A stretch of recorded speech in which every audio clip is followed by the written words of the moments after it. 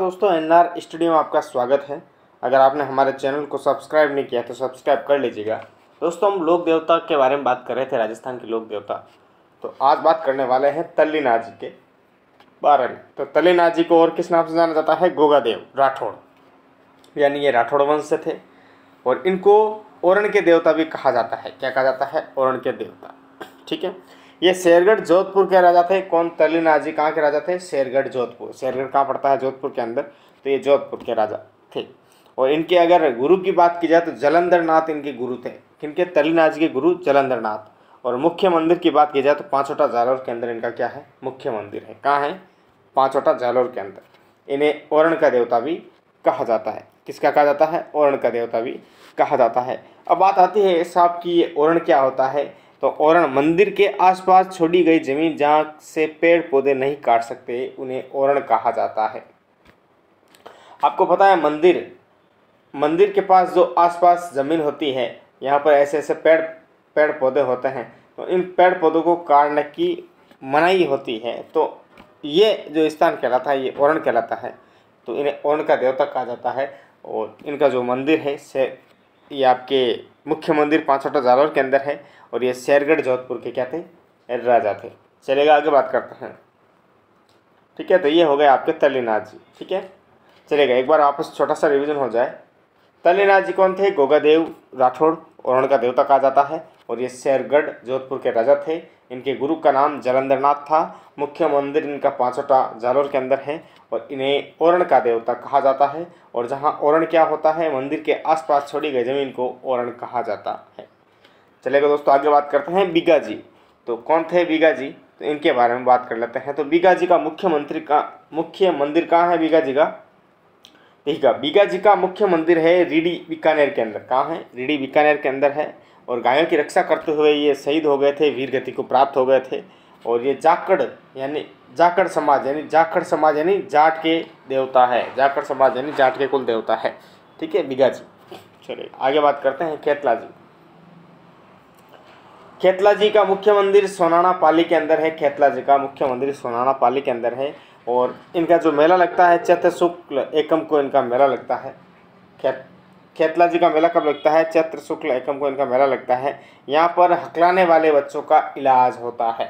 जो बच्चे हकलाते हैं, उनका यहाँ पर इलाज किया जाता है। तो याद हो जाएगा चलेगा बात कर लेते हैं वापस एक बार कि भाई बीगा जी कौन थे? तो बीगा जी का जो मुख्यमंत्री है रीडी बीकानेर के अंदर है। ये गायों की रक्षा करते हुए वीर गति को प्राप्त हो गए थे और ये जाट जाट समाज के, यानी जाखड़ समाज के लोग देवता कहे जाते हैं। और खेतला जी की बात की थी तो उनका मुख्य मंदिर सोनाना पाली के अंदर है और मेला है जो चैत्र शुक्ल एकम को लगता है और यहाँ पर हकलाने वाले बच्चों का इलाज होता है। चलेगा। आगे बात कर लेते हैं हरी राम जी। तो कौन थे हरी राम जी? तो हरी राम जी की बात करते हैं तो हरी राम जी का मुख्यमंत्री कहाँ है? जोरडा, नागौर के अंदर। कहाँ है? जोरडा, नागौर के अंदर इनका मंदिर है और इन्हें सर्परक्षक देवता भी कहा जाता है और मेला जो बढ़ता है वो भाद्रपद शुक्ल पंचमी। कब? भाद्रपद शुक्ल पंचमी को इनका मेला लगता है हरिराम जी का। मंदिर में सांपी की बाम्बी की पूजा की जाती है। बाम्बी क्या होता है? सांप का बिल, ठीक है? तो मंदिर के अंदर सांप सांप की जो बाम्बी होती है, उनकी पूजा की जाती है हरिराम जी की, है ना? हरिराम जी के मंदिर के अंदर सांप की बाम्बी की पूजा की जाती है। ठीक है? ये आप ध्यान रखें। चलेगा आगे बात करता है। चलेगा। अगले आते हैं जरडा जी, है ना? ये कौन है जरडा जी? तो पाबू जी के भतीजे थे जरडा जी। ठीक है? पाबू जी के भतीजे थे जरडा जी। और जिंदराव खींची, यानी जायल का राजा था जिंदराव खींची, इसको मारकर अपने पिता व चाचा की हत्या का बदला लिया था जरडा जी ने। ठीक है? पाबू जी से, देखिए पाबू जी से युद्ध करते हुए जिंदराव खींची से युद्ध करते हुए पाबू जी शहीद हो गए थे। तो उसी का बदला लिया था जरडा जी ने। यानी जायल का राजा था, इसको जिंदराव खींची को मारा गया था। किसके द्वारा? अपने पिता व चाचा की हत्या का बदला लिया था इन्होंने किसने जरडा जी ने। ठीक है, क्योंकि जरडा जी बाबू जी के भतीजे थे। आगे बात करते हैं, इनका जो मंदिर है, कोलूमंड गाँव जोधपुर के अंदर है और सिम्बूदड़ा बीकानेर के अंदर इनके दो मंदिर है। एक तो मंदिर है आपका कोलूमंड गाँव जोधपुर, दूसरा है सिम सिम्बूदड़ा जोधपुर। नहीं सिम्बूदड़ा बीकानेर के अंदर और कोलूमंड गाँव जोधपुर के अंदर। चलेगा आगे बात करें। इन्हें रूपनाथ भी कहा जाता है, यानी जरडा जी को रूपनाथ भी कहा जाता है।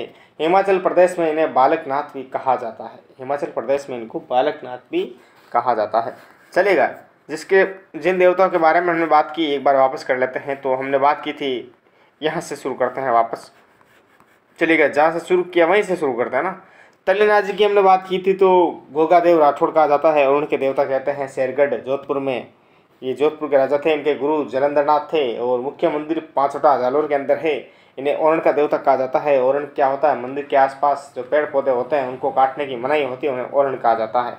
और बीका जी की बात करते हैं तो इनका जो मंदिर है रीडी बीकानेर के अंदर है, गायों की रक्षा करते हुए वीर व्यक्ति को प्राप्त हुए और जाटों के देवता या जाखड़ समाज के देवता है। केतला जी की बात करें तो सोनाला पाली के अंदर इनका मंदिर है और चत्र शुक्ल एकम को मेला लगता है, हकलाने वाले बच्चों का इलाज किया जाता है। हरिराम जी की बात करें तो हरिराम जी का मुख्यमंत्री जोरडा नागौर के अंदर है सर्वरक्षक देवता भी कहा जाता है। भाद्र शुक्ल पंचमी को मेला लगता है और सांपी की बाम्बी की पूजा मतलब सांप के बिल की पूजा की जाती। है और हमने बात की थी आगे जरडा जी तो पापू जी के भतीजे थे और जिंदराव खींची। जो कि जायल के राजा था, इसको मारकर अपने पिता व चाचा की हत्या का बदला लिया था जरडा जी ने। इनके मंदिर की बात करें तो कोलमंड गाँव जोधपुर के अंदर है और शंभुदड़ा बीकानेर के अंदर इनका मंदिर है।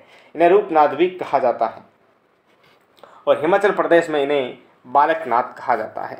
चलेगा दोस्तों, आज हमने लोक देवता की बात की और जो बचे हुए लोक देवता है, उनके बारे में हम अगले वीडियो में चर्चा करेंगे।